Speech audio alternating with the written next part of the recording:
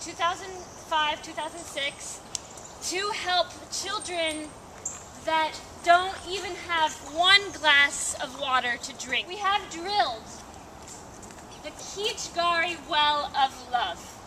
The Well of Love is the well that you guys have helped in the past and are still helping to build. You guys are what is making this happen.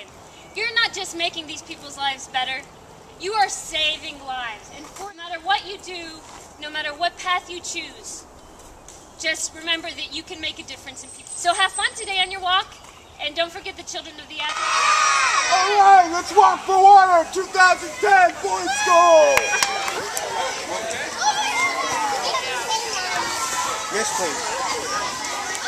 100 upper school students walking for water.